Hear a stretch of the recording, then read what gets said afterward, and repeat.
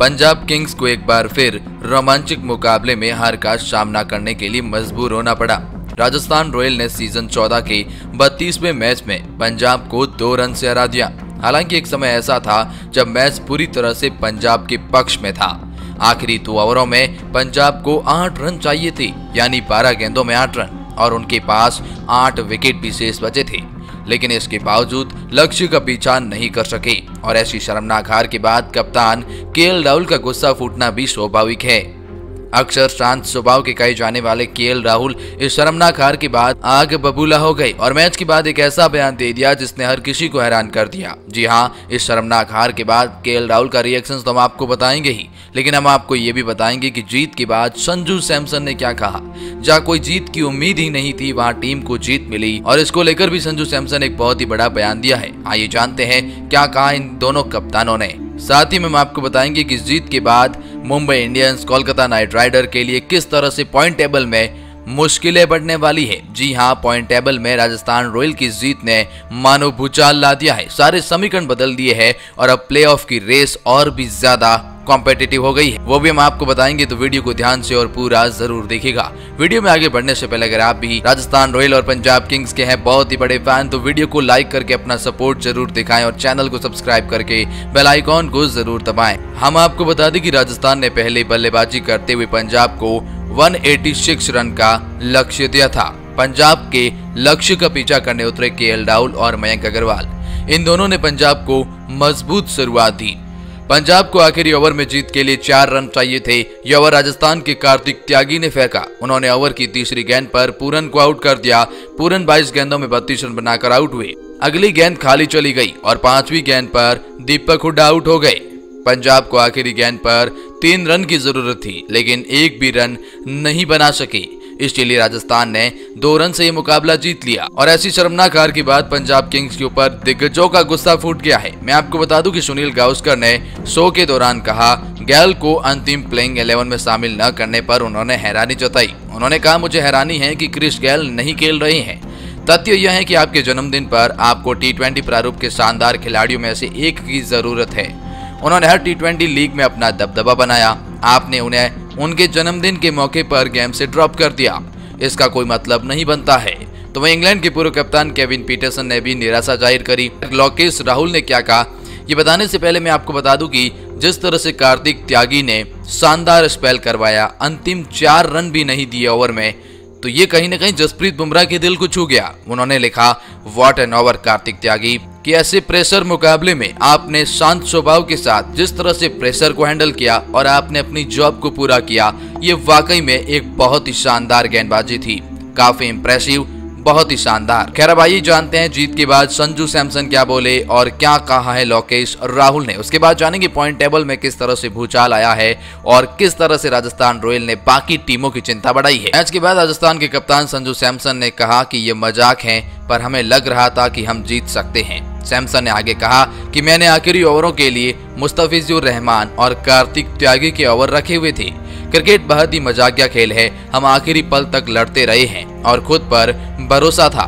मैं हमेशा से विश्वास करता हूँ कि मेरे गेंदबाज आखिरी पल तक लड़े, जिस वजह से मैंने दो ओवर रखे थे। सैमसन ने आगे कहा कि सच कहूँ तो इस पिच पर यह लक्ष्य हासिल किया जा सकता था। हमें अच्छा महसूस हो रहा है, क्योंकि हमें गेंदबाजी करनी थी। अगर हम कैच पकड़ लेते तो मैच आसानी से जीत सकते थे। खिलाड़ियों ने अपनी फिटनेस को लेकर काफ़ी मेहनत करी है। तो वहीं के राहुल ने कहा कि इसे स्वीकार करना कठिन है। हम ऐसी टीम रहे हैं जिससे पहले भी इस तरह के मैचों का अनुभव किया है। हमें यह देखने की ज़रूरत है कि हम दबाव को बेहतर तरीके से कैसे संभाल सकते हैं। अठारहवें ओवर में खत्म करने की कोशिश में भी कभी कभी आप बहुत ज़्यादा मेहनत करते हैं और अपनी लय खो देते हैं और विरोधियों को हावी होने का मौका देते हैं। हमने पिछली गलतियों से सीखा ही नहीं है। अगर हम मज़बूत वापसी करते तो और अगले पाँच मैचों को जीतने की कोशिश करेंगे। हमने गेंद से चीज़ों को अच्छी तरह से वापस खींचा, विकेट लेते रहे, जो इस प्रारूप में महत्वपूर्ण है। मेरे लिए मयंक और यहाँ तक कि एडन के लिए अपने पहले आईपीएल मैच में रन बनाना महत्वपूर्ण था। राजस्थान रॉयल की एक जीत ने पूरे पॉइंट टेबल को बदल कर रख दिया। सबसे पहले हम आपको बताना चाहेंगे कि सनराइजर हैदराबाद इस पॉइंट टेबल में सबसे आखिरी पोजिशन पर है। सात मुकाबले खेलकर केवल एक मुकाबला जीतकर दो पॉइंट के साथ में वो आठवें पायदान पर है। वे सात मुकाबले है और सातों के सातों मुकाबले जीतने ज़रूरी है। अगर छह मुकाबले जीतती है तो भी वो प्लेऑफ की रेस में बरकरार रहेगी।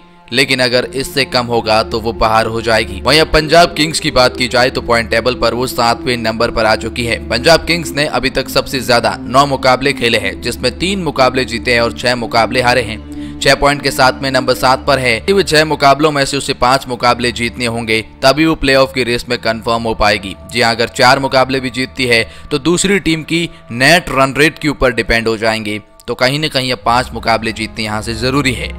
पंजाब के बाद के के आर यानी Kolkata Knight Rider point table में छठवें नंबर पर आ गई है। आठ में से तीन मुकाबले जीते हैं छह पॉइंट के साथ में वो नंबर सिक्स पर काबिज है।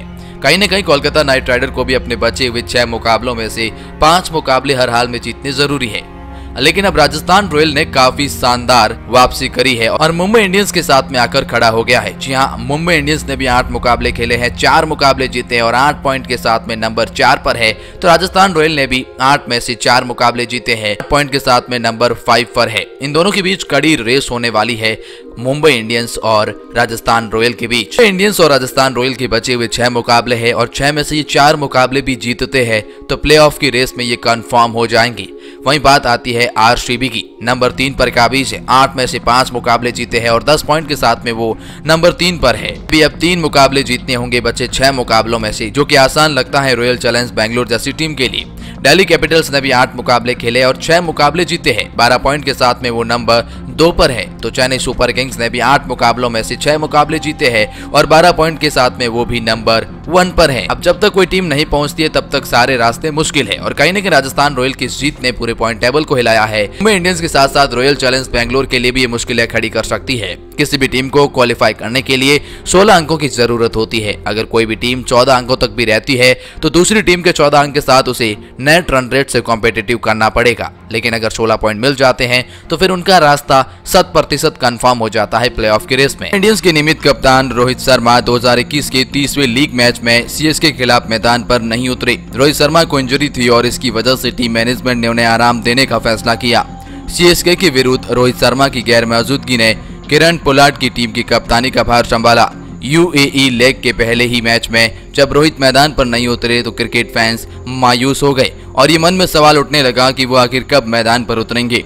अब मुंबई इंडियंस टीम के हेड कोच महिला जयवर्धने ने बताया, आखिर रोहित शर्मा कब फिर से मैदान पर उतरेंगे? महिला जयवर्धने के मुताबिक अब रोहित शर्मा मुंबई इंडियंस के अगले मुकाबले में फेल से खेलते हुए नज़र आएँगे। मुंबई की टीम अपना अगला मैच तेईस सितंबर को कोलकाता नाइट राइडर के खिलाफ खेलेगी।